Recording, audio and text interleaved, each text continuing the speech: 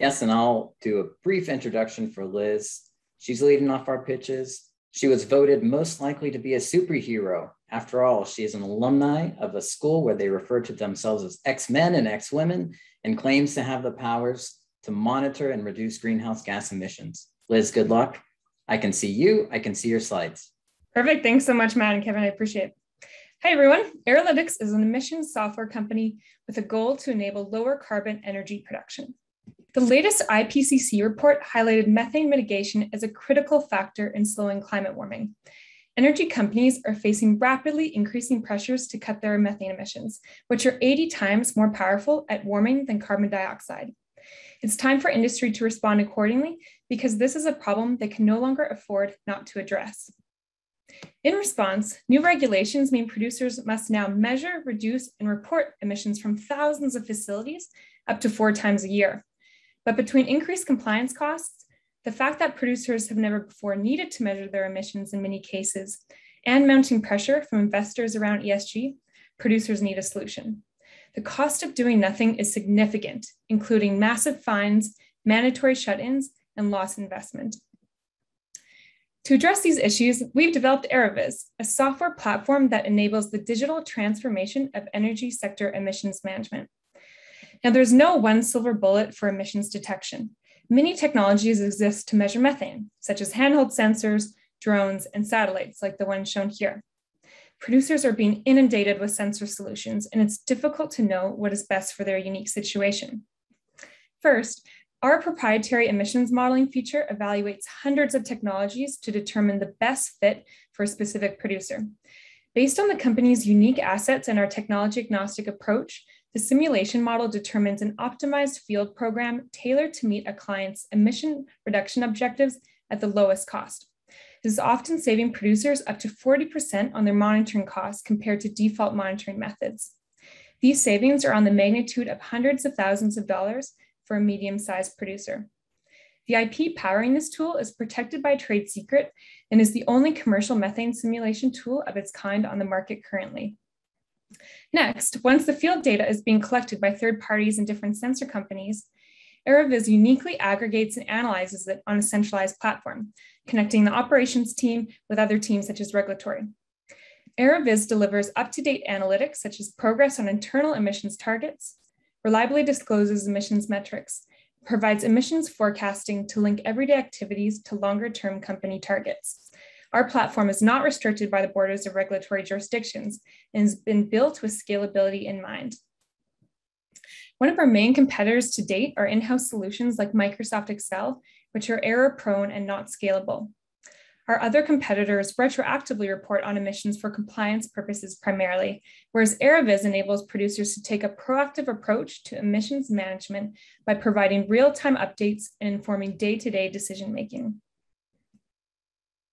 With over 1.3 wells, million wells and facilities across North America alone, emissions, emissions management is a global market opportunity. The 198 energy related methane policies worldwide create a strong regulatory market driver for emissions data management. And this is growing, with the EPA planning to reinstate federal wide methane regulations in the coming months. As of 2021, we've entered into our first software pilots, including one with Canadian major Cenovus Energy. We have closed our first round of financing earlier this year and have since grown our team to 13 employees. In spring 2020, we finalized our MVP. Come 2023, the focus will be on becoming a global trusted source for carbon emissions management and disclosure. And we'll be working to incorporate all scope one and two carbon emission sources into AROviz. AROviz is offered through a B2B SaaS business model with an average annual subscription for a medium-sized producer of around 150K. To date, we've received well over 500K in customer revenue, as, as well as several hundred thousand in grants. And finally, who's behind it all? Our founding team formed out of Canada's largest academic emissions lab, where we spent multiple years researching emissions across thousands of oil and gas facilities and collaborating with industry to understand their problems. We are well recognized experts in the space and have published some of Canada's largest oil and gas emission studies. RIP is founder owned and exists outside of the university. Our upcoming objectives are to find US industry contacts to help with market validation, customer discovery, and product research. We are pursuing two to three US pilot customers and strategic part partnerships to help with market penetration. We are specifically targeting progressive, medium to large upstream producers with a strong ESG culture and emission reduction objectives. We're also planning to raise additional financing in 2022 to support further US market entry. That's all. Thank you so much to Rice for this opportunity, and I'm happy to answer any questions. Thank you, Liz. We'll now open it up for questions. You can either type it in the Q&A box or use the raise hand function and I'll unmute you. We do have one in the QA box from Vincent. AROlytics, are you connected to the PTAC effort out of Calgary on methane mitigation? Uh, yes, thanks for the question, Vincent. You can actually see the PTAC logo listed here at the bottom. So we do work uh, quite closely with them on a few different projects because they're quite involved in this space. Absolutely.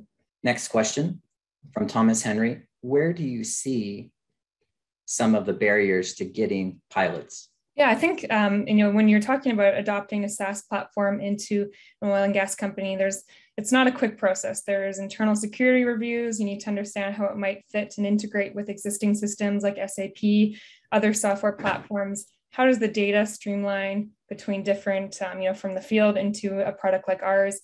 Who are the users? There's tons of different considerations um, when adopting a new uh, product like that. So we're we've been working really hard to um, streamline that process, make the onboarding and training easy for our current pilot customers in Canada. And uh, we're really excited about the opportunity to get that going in the US now. Another question Do you have statistics on methane emissions from abandoned wells versus active wells?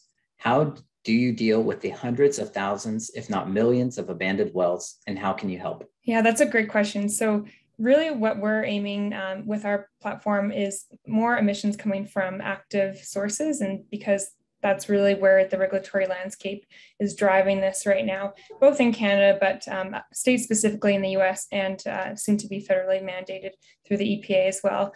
Um, there's requirements to directly measure your emissions through those active facilities. And so that's really where a lot of these sensor solutions are coming to play. Uh, with abandoned wells, there absolutely can still be fugitive, which is unintended emissions coming from those abandoned wells.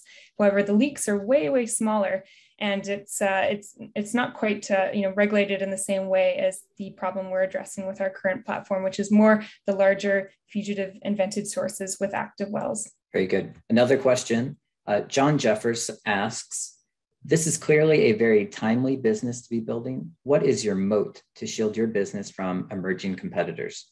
Great question. So we are an expertise-based startup. Um, as I mentioned, we formed out of one of Canada's largest academic uh, research groups. And so we really have a background in working closely with this data, understanding how all these different sensors can work together to make that optimized program.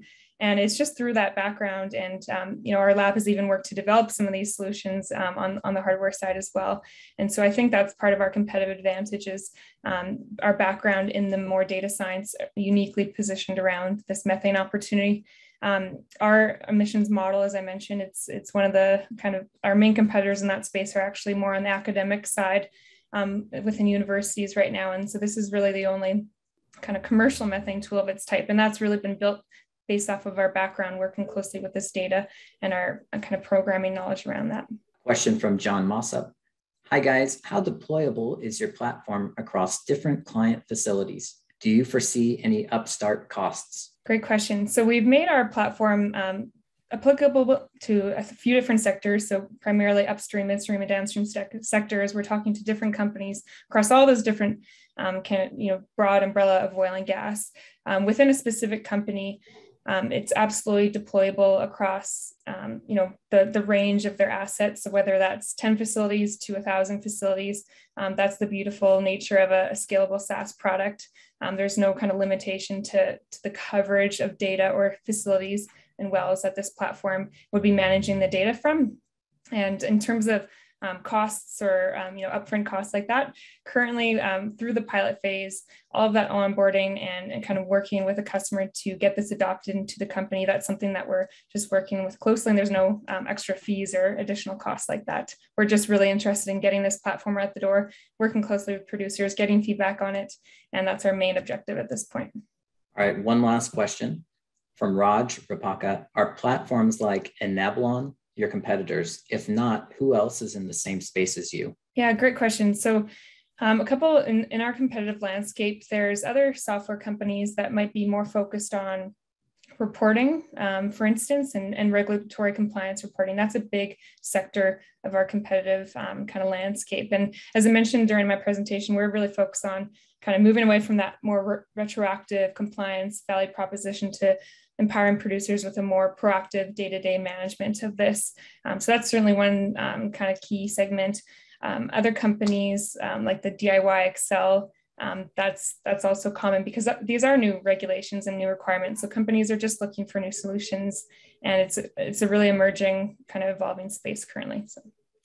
Thank you, attendees, for using the Q&A function. Thank you, Liz. Um, if you didn't get your uh, question answered, please contact the respective teams using the Whova platform or follow up using the email provided.